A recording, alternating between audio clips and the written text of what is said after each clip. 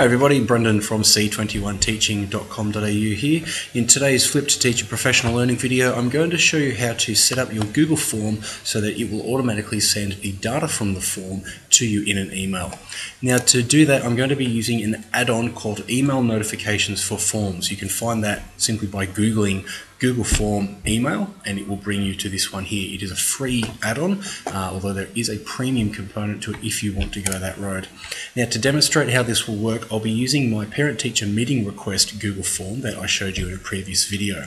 Now obviously you can see here I've got four classes listed, so I want to be able to know who I send the parent meeting request to. So what I can do is, once I've added that add-on to my Google Forms is I click on the jigsaw puzzle piece and I select email notifications for forms. That will bring up a configuration option. And I've got a number of uh, options there. Uh, I want to create email notification. I click on that, it's processing it, and you can see down here in the bottom right hand corner that I've got a number of options. Sender's full name, this is the person it will be coming from. In This is what will show up as far as the in the email address of the person who sent it. I'm going to put my name, sender's email address. If you're using a, well, you will be using a Google account to create this Google form, so that will pop in there by default. If you have multiple Google accounts, you can select, uh, you know, one of your other Google account options there. Email addresses to notify.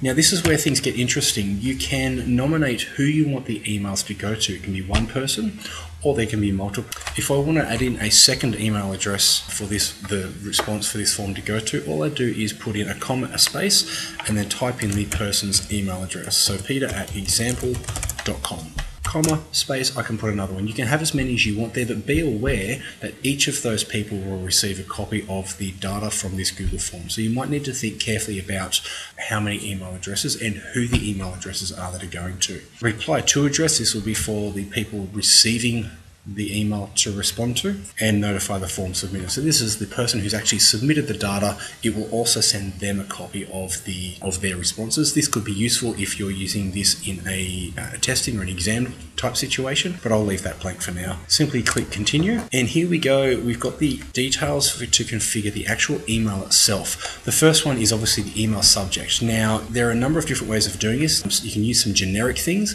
or you can actually pull data from the form to give the, uh, the people receiving the email an idea about which form it is that you're looking at. This could be particularly useful if you've got multiple forms in use. So what we're going to put here is your name. So that's that will input the response from the your name field has responded to the form name. So what that will do if John fills in this, this form, the subject line of the email will be John has responded to parent teacher meeting request. It will pull that data in. In the body of the email, there's some default text there. Your form has a new entry. Here are the results. And then you can see the little code there. That will mean that everything from this form will drop in. Now you can change how that operates. You might want to have in response date, you might want to have only specific fields. It's up to you how you configure that, but have a think carefully about what it is that you're trying to no uh, notify the person getting the email of. Uh, you can attach a PDF copy as well if you want to. I'm going to leave that one blank for the moment. And then you go create rule. It saves that configuration, it processes it, and we see the rule has now been created. It gives you some information about upgrading to the premium option.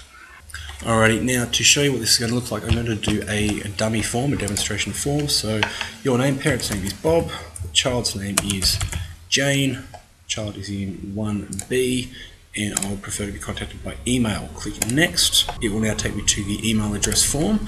And notice as I'm typing here that until I actually have a valid email address on the screen, it says it must be a valid email address. I then submit. Because I set up my branching, it tells me to simply submit. Now, if I go to my email address, straight away you can see I've got an email there that has all the details. So here are the results. Bob has responded to parent teacher meeting request. So remember we had person's name and then the form name and then there's all the information there. That's all we have time for in this video. I hope you found that useful. For more helpful videos like this, please head to c21teaching.com.au. Thanks very much.